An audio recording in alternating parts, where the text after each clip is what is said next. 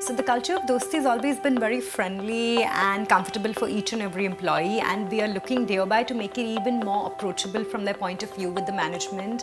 Uh, we are looking at employees who work with long-term goals thereby so that you know they can fulfill their targets. We along with them can work towards achieving and fulfilling all our goals and targets and in order to make this company very sustainable in the future for all of them from their long-term perspective. I had seen Thane 10 years ago wherein it was very barren, there were very few developments. And today when I look at it, it's, it's just such another, it's another aura. I feel it's like a new Mumbai that's coming wide roads, um, lots and lots of professional people, malls, tons of bars, lounges, coffee shops, a lot of co-working spaces. It's the land of like, you know, new tech companies, opportunities and a lot of growth. I just see it like a very, very nice residential and commercial community zone coming up too.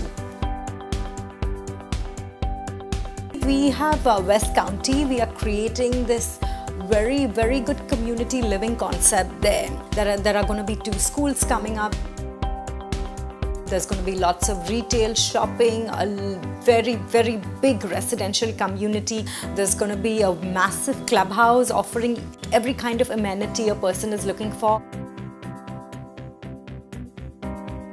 There's the new metro coming along, which is going to be passing by our project. And I do see Balkum West County Thane becoming the next uh, go-to destination.